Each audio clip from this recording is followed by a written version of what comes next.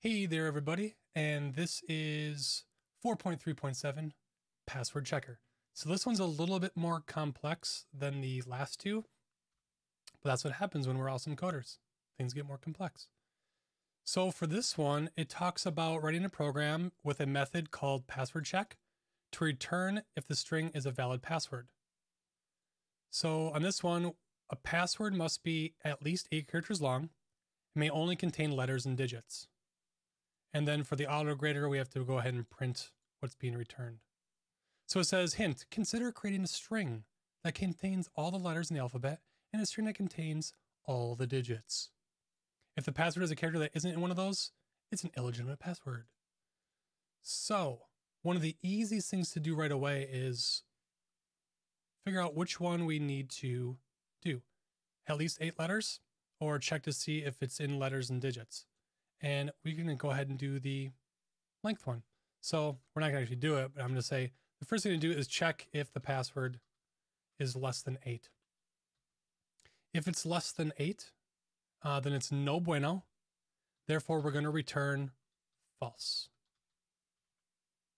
Done. Just checking that. Next up, it talks about creating a, a string of letters. So we can just do something like this for right now, just for placeholders. Then we can also do another one for digits, or we can just combine the two. Doesn't really matter. So long as that they're all there. Now, what we need to do is check to see if our password, like each letter of our password, make sure that it's in one of these legitimate letters. I'll just put that legit letters, just so we can be a little bit more clear. So want to see if H is in the list of legit letters. And if it's not, we're done with this function. We're done with this method and we're going to return false right away because we don't need to check any more letters. We're just out of here. But if the first letter is good, then keep going, then keep going, then keep going until we're all done. And after we're all done, if everything is good, we're going to go ahead and return true.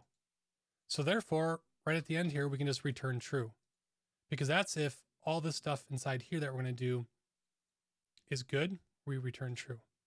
So another thing we can do after this is we can just go ahead and make a loop, loop through each, each letter of our password.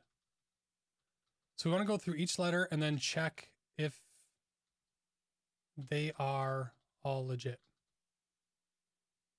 Okay, that's it. Just kidding. So there's a couple different ways to do this. One of the ways that we can go about this is we can use this idea of index of. So if you look here, we have two different kinds of index of. We have an index of that takes in a character and an index of that takes in a string. And if we read down here, they both are saying the exact same thing. But here's the key part. If the character does not exist in this string, negative one is returned. So we can use that idea of negative one being returned and use that to see if it's a legitimate password or not. So for instance, if H is checked first in our loop, we go through all of this and we find out that H isn't in one of the legitimate letters, it's going to return a negative one. If it is in one of the letters, it's going to actually return the index. So it's going to be some positive number or zero. So we can just check this real quick. So let's just do the letters uh, with the strings. So I'm going to check all the letters and I'm going to get, um, I'm going to find the index of. So the index of one of the letters. So I'm going to take the first letter of our password. So we'll do password dot substring, and then we'll take the first letter. So this is kind of a long statement right here. So just to kind of clear this up, we're going to get the first letter from our password. In fact, we can just separate this out so it's a little bit more clear. Because when it starts getting too nested, then it gets really annoying to, to read. So this is going to return the first letter. And then we want to find the index of the letter inside this entire, this is no longer called letters, it's called legit letters, in our legit letters. And then what we're going to do, it's going to return the index. So I'll do int index and then I'm just going to go ahead and print it to the screen. That way you guys can see how it kind of works. Return the index.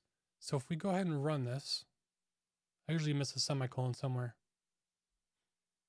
So negative one. So it checked the first letter and it wasn't in there. So it returned negative one. If I put an H at the end of this, so now H is considered a legitimate letter. It's going to return three because H is at the index of zero, one, two, three. So that's how you can check. And then you, for yours, you're just going to create a loop that goes through each of the letters. So this is how you can do it with substring. We can also do it with um, characters because index of, as we see here, allows us to use characters. So in order to use a character, we come over here to the right-hand side again. We can see we can get a character if we use character at, and we pass in its index. So it returns the character in the string at the specified index. So just like letter, uh, let's do character though, letter, and let's just comment this out so it doesn't get angry at us for having the same variable. And then we can go password dot character at. So the nice thing about this character at is it doesn't need two parameters. It only needs one. Substring needs a beginning and an N, This just gets it just gets a single character, which is perfect for this situation. And then we can do this exact same thing. We can get the index of the letter, and then we can print it out. So now if we run this, we still get three. And then let me just move, um, we'll move the H over here just so you guys can see that it's still running this new code. So it should return a one this time because H is at the first index. So one of the big takeaways here is that you're going to loop through each letter. If any of the letters are bad, which means that it returns a negative one, then you're going to want to return false. Return false gets immediately out of this entire method here because it's done. It's bad. Get the heck out. And then you only want to return true if it's gone through every single letter and everything's been legit. Then you return true at the end. So this is two different ways to go about this problem, and I hope that helps. Okay, bye-bye.